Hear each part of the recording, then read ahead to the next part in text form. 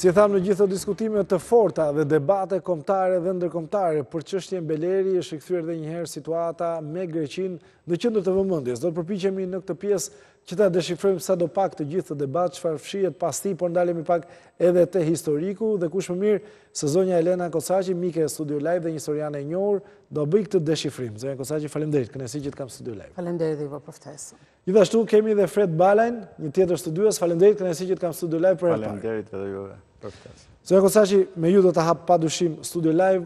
Çfarë po ndodh me çështjen Beleri? Nuk po flas ligjërisht se tashmë pothuajse dihet, po çfarë është duke ndodhur me Himarën në tërësi?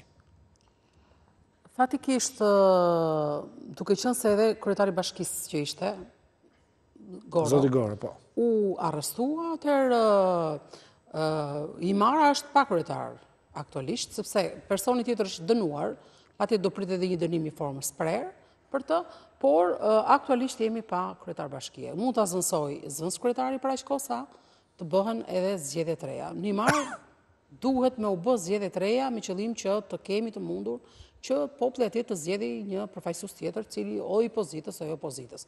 Sepse si ai që të dy kandidatët, që të dy janë të arrestuar në proces, kështu që nuk mund të ketë një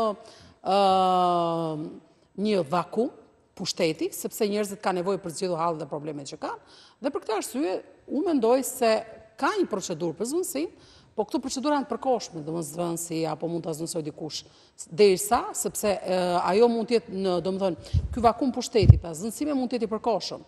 Por duhet me patjetër një zgjidhje afatgjatë me një mandat të plotë dhe për këtë duhet të shkohet në zgjedhje të të reja.